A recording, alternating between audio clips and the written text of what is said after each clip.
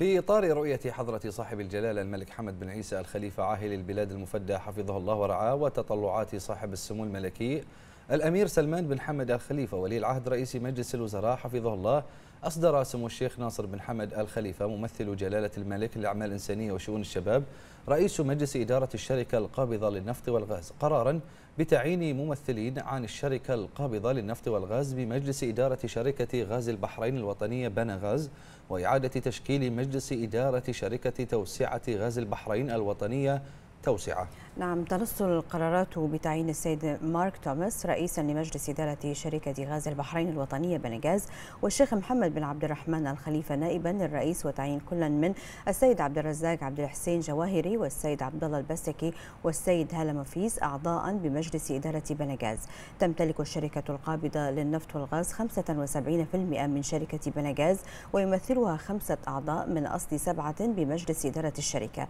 كما أصدر سموه قرارا آخر بإعادة تشكيل مجلس إدارة شركة توسعة توسعة غاز البحرين الوطنية توسعة وهي شركة مملوكة بالكامل للشركة القابضة للنفط والغاز حيث تضمن القرار تعيين السيد مارك توماس رئيسا لمجلس إدارة توسعة والشيخ محمد بن عبد الرحمن الخليفة نائبا له وتعيين كل من السيد عبد الرزاق عبد الحسين جواهري والسيد عبد الله البستكي والسيدة هالة مفيز أعضاء بمجلس الإدارة.